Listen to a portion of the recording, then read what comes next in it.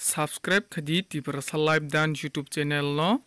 Te bell icon click khanyani tapok di jot nte slai sikang video ko tal fakya notification mana bagai.